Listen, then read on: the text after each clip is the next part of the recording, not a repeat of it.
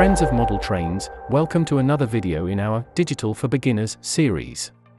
Today's video deals with our Z21 multi-loop, the reverse loop module, and in the second part of the video I'll still show you how to connect and feedback module section in the reverse loop, and what to look out for. So what is a reverse loop module and why do you need it? A reverse loop module basically prevents a short circuit when, like I set it up here, you come out of a track, run through a loop and return to the same track. The track voltage is bipolar. This means that you have positive on one side and negative on the other.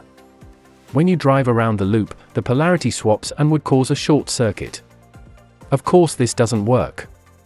That's why you need a reverse loop module that swaps the polarity inside this loop, and then adjusts the whole system so that you can continue driving the locomotive. The enclosed operating instructions of course also explain the connection.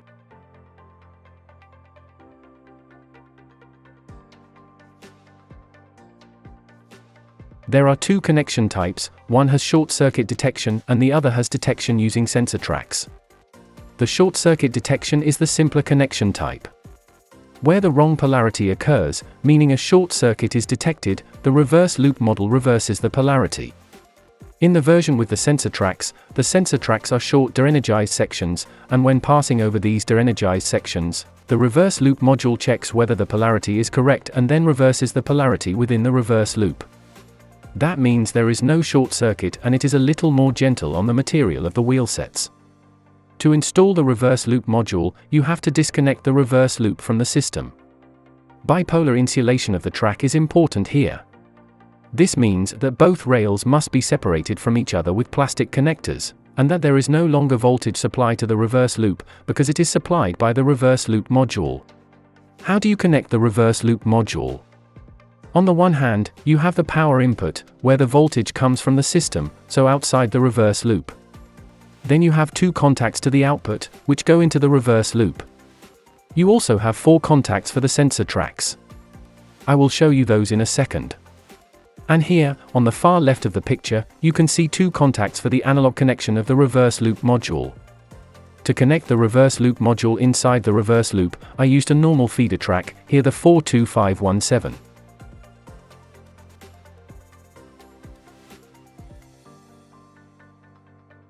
As I said earlier, one side must be completely fitted with insulating connectors and only then plugged back into the track.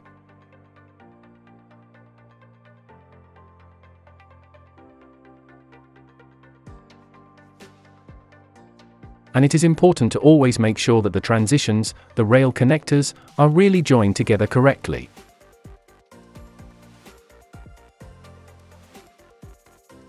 This means that you should always check whether the rail head surface is smooth.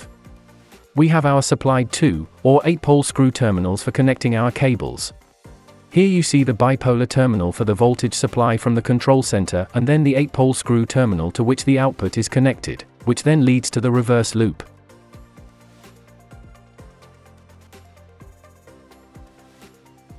You can see that the status light is blue, so the reverse loop module is connected and ready for use. If you now drive the locomotive into the reverse loop, you can see that the voltage has been adjusted and the locomotive drives around through the reverse loop. Then a check is done to see whether the polarity is correct. And you can see that we were able to drive through the reverse loop without a short circuit.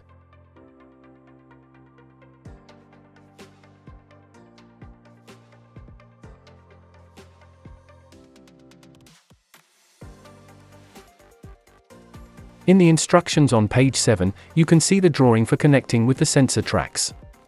What are sensor tracks? Sensor tracks are basically two short, de-energized sections where the reverse loop module has time to check the polarity. These sections should not be too long, because if you have a short locomotive and you enter the de-energized section, the locomotive could stop because it isn't supplied with voltage.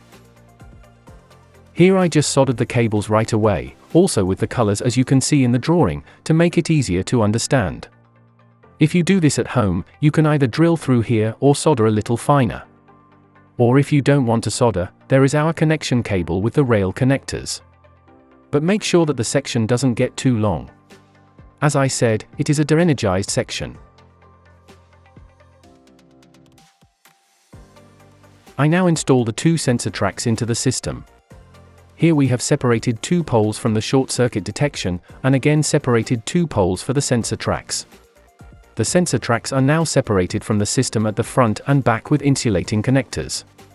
So, we now disconnect our system and connect this sensor track here like in the drawing.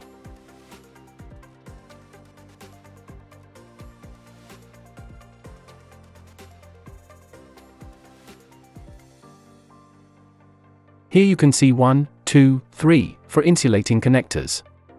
Again, make sure that the rail connectors are correctly inserted in the rail base so that no edges stick out. Then connect the whole thing again on the other side.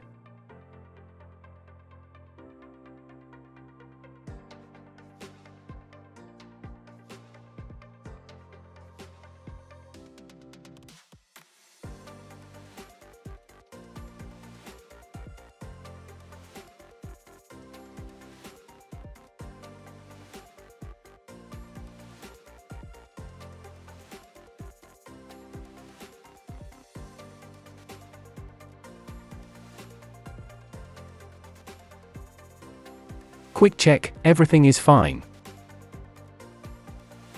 Yes, and always check carefully whether the connection diagram matches the soldered cable.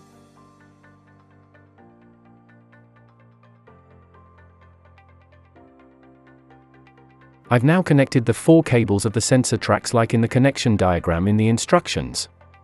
And of course I need the output of the reverse loop module again. I also connect it to the connector and screw the whole thing back on.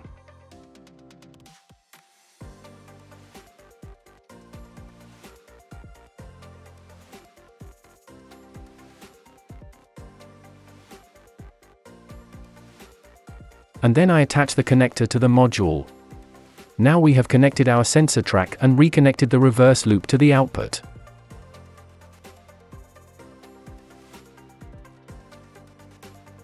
If we now drive our locomotive into the reverse loop, we'll see that the polarity is reversed as soon as the sensor track is reached.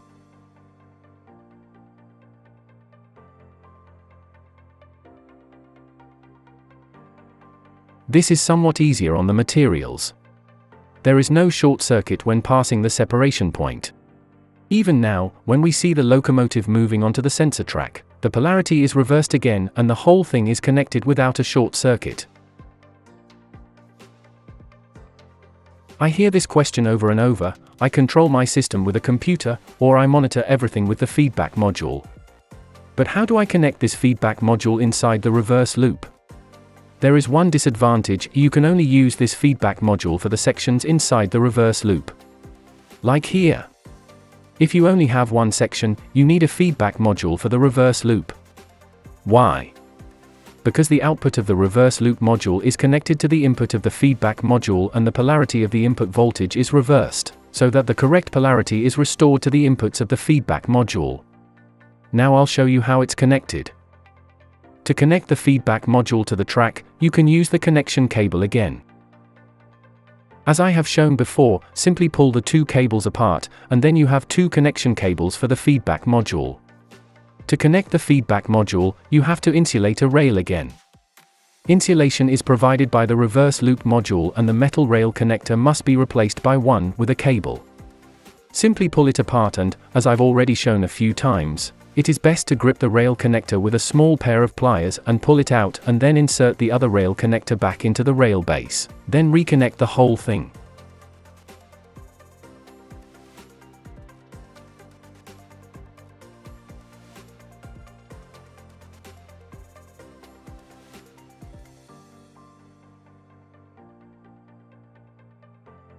Quick check, it's fine. Now the second rail has to be connected to the detector input. You can use a connection cable to do this.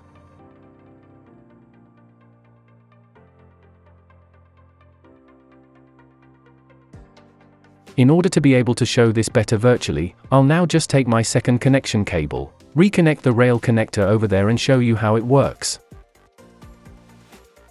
Now the second rail is connected and the cable is also connected to input N, which comes from the multi-loop.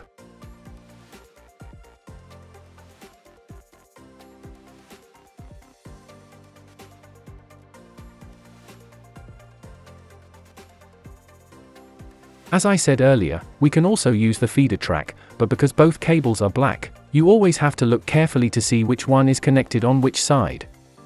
It's a little easier to visualize it with the two different cable colors. To display the feedback module in the app, the feedback module must be connected to the control center. To do this, take the RBus cable and plug it into the feedback module as well as into the RBus in the Z21.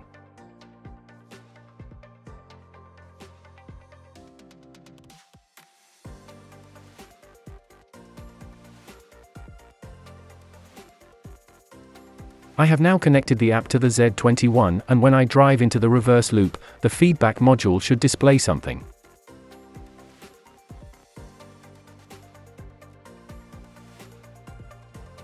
And look, the occupied message works. And now we drive through the reverse loop. The reverse loop module has reversed polarity.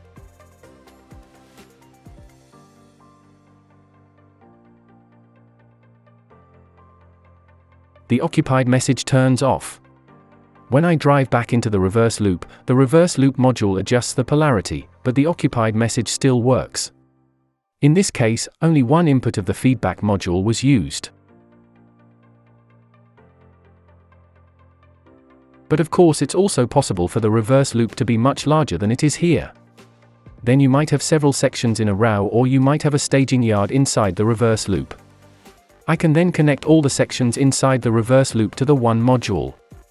An additional insulating connector has to be fitted for this purpose and a second cable has to be connected to the feedback module input. This way you can monitor several sections in the reverse loop. So that's it on the Z21 multi-loop. Thanks for tuning in and see you next time.